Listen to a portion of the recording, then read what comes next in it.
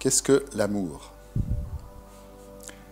Si euh, nous voulons simplifier euh, véritablement cette question et nous épargner beaucoup de, réflexions inutiles, on peut recourir à une phrase de Saint Jean qui nous dit une chose très simple, mais euh, très lourde de conséquences tout à fait merveilleuses. Dieu est amour. Si Dieu est amour, ça veut dire que l'amour, c'est Dieu. Et là, on, on s'est débarrassé d'un seul coup de la psychologie. si on prétend que l'amour, c'est un sentiment qui appartient à l'ordre psychologique. Quand on entend par exemple aimez-vous les uns les autres, on rentre dans une impasse complète. Parce que comment un sentiment pourrait-il se commander? Est-ce que je suis à l'origine de mes sentiments? Est-ce que je décide de ressentir un sentiment avant de le ressentir? Évidemment que non. L'amour ne peut pas être un commandement si l'amour est un sentiment. Mais l'amour dont parle le Christ, l'amour qui est un commandement dans les, voies judéo-chrétiennes, ce n'est pas du tout un sentiment. C'est Laissez Dieu vous traverser et se donner à travers vous. Aimer, c'est laisser Dieu se donner à travers moi à l'autre. Comment faire ça? De la manière la plus simple possible. Il suffit d'en poser l'intention. Mais pour en poser l'intention de manière authentique et sincère, il faut d'abord prendre conscience que par moi-même, par mes propres forces, je suis incapable d'aimer. Un ego n'aime pas. Entre deux égaux, il ne peut pas y avoir d'amour. Entre deux égaux, il ne peut y avoir que des transactions d'intérêt. Tu me donnes ce que j'attends, et moi en échange, je te donne ce que tu attends. Tu me protèges contre mes peurs, et moi en échange, je te protège contre mes peurs, etc. etc. Et voilà ce que deux égaux vont appeler s'aimer l'un l'autre.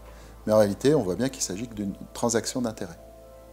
Au niveau de la psychologie, il ne peut y avoir que des transactions d'intérêt.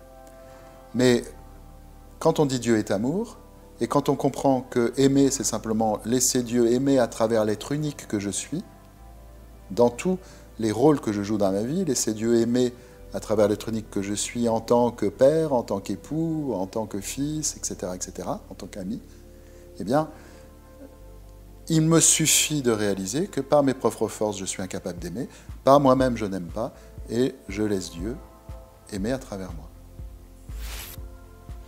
Qu'est-ce que la foi? La foi, c'est euh, se confier à l'invisible. C'est la première euh, définition. Je ne peux pas avoir foi dans ce que je vois. Si je vois, je n'ai pas foi. Si je, ne peux pas dire que j'ai foi dans la table qui est, est euh, en face de moi, je la vois, je l'aperçois, elle est là. Mais en revanche, si quelqu'un me dit qu'il m'aime, là je suis obligé d'avoir foi. Parce que je vois euh, la personne, j'entends ses mots, mais son amour, je ne le perçois pas. L'amour est de l'ordre de l'invisible. Donc cet exemple nous montre que nous avons tout le temps foi. Nous sommes obligés d'avoir la foi. Il y a des gens qui nous disent, souvent des matérialistes, moi je ne crois que ce que je vois. C'est impossible. Si vous ne croyez que ce que vous voyez, alors vous êtes un psychopathe. Désolé. En réalité, ceux qui disent je ne crois que ce que je vois, s'ils ne sont pas des psychopathes, ils passent leur temps à croire en des choses qu'ils ne voient pas. Par exemple, quand ils voient un corps humain, eh bien, ils croient en la conscience la conscience de soi de la personne euh, qui, possède ce corps qu'ils perçoivent. Euh, quand on leur dit qu'ils sont aimés, eh bien, ils croient en l'amour dont ils sont l'objet. Euh, le, psychopathe, lui, il, ne croit que ce qu'il voit, c'est-à-dire il voit un corps qui, bouge, et comme il n'a pas conscience d'une conscience, eh bien, il peut lui faire tout ce qu'il veut. Donc, on croit toujours en des choses que l'on ne voit pas on a toujours la foi, mais la question c'est la foi en quoi? Qu'est-ce qu'avoir foi en Dieu? La réponse est très simple. Avoir foi en Dieu, c'est mettre 100% de sa foi en Dieu. Or, très souvent, nous mettons une partie de notre foi en Dieu, mais aussi nous mettons une partie de notre foi en autre chose. Par exemple, je cherche le bonheur, je cherche la joie.